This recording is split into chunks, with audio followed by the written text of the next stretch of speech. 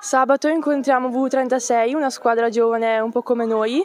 Ci siamo preparate bene questa settimana e non ci resta che dimostrare il nostro valore in campo e vi aspettiamo tutti.